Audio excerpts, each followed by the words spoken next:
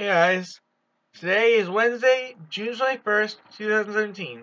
It's time for more Bipolar Opposites. My name is Timothy Andrew Antonio Cubbin, and I am the host, and I'm going to be talking to you about a topic which I found interesting, which is X-Men movies multiple timelines theory. Okay, there is a lot, I mean a lot, of things they have in the X-Men movies. Because let's face it, we had 1, 2, 3. Those were the original.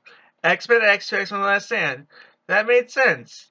Then they made X-Men Origins Wolverine, which if you really watch, there's kind of a... Maybe some things didn't match up right? I, I don't know. Then after they released X-Men First Class, we thought, okay, this is what happens before X-Men Origins Wolverine and one, two, and X-Men X2 and X-Men Last Stand. Now, then they make Days of Future Past, which followed after Wolverine, after the Wolverine, where in the end of the Wolverine, you find it's a continuation of X-Men Last Stand, where Wolverine is dreaming of Jean Grey as being dead, but she's still in bed with him the whole time. Now, let's look at this carefully. They add Days of Future Past, which changes everything. I mean, yes, there's a past which follows up between first class.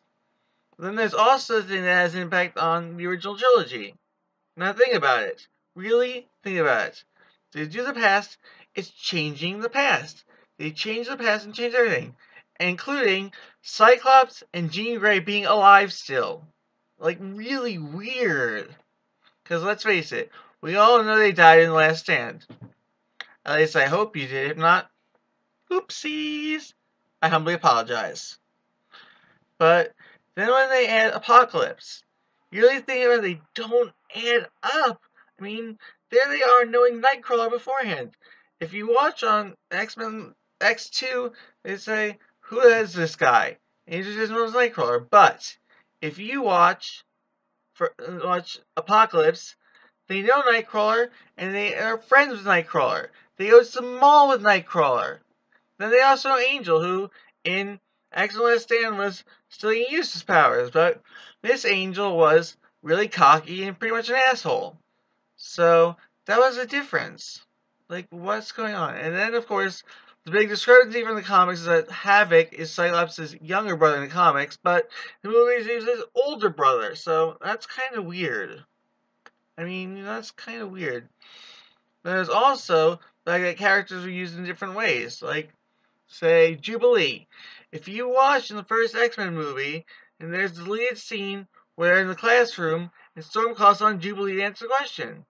So, and if you watch X2 when they rescue the kids, Jubilee is called by name. So how is it that Jubilee can be in the 80s and also the 2000s at the same age? Like, what?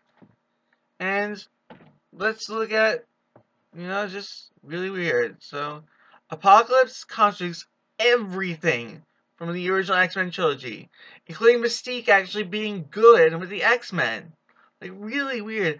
I mean, yes, I was supposed to go to Storm, Cyclops, and Jean Grey, but doesn't make sense. I mean, when I got the set of Blu-rays, I got what they call the Beginnings trilogy, which, really, if you look at it, not the beginning, so what is going on? There's multiple timelines, so really, really weird.